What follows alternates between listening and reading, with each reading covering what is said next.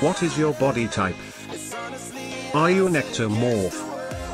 Are you an endomorph? Or are you a mesomorph?